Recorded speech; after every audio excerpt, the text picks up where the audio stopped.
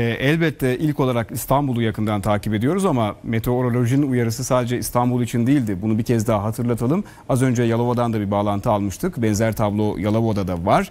E, bir başka noktada Kocaeli değerli izleyenler. Kocaeli'den de görüntüler ekranlarınıza geliyor. E, Marmara'nın kuzeyi ve kuzeybatısında da etkili oluyor. İşte görüntü Kocaeli'den e, dolu etkili oldu. E, dükkanların üzerindeki koruma brandalarının üzerine o dolunun nasıl şiddetli yağdığını sizler de görüyorsunuz değerli izleyenler. E, işte bu benzer tablolar bugün Marmara bölgesinin neredeyse tamamında var.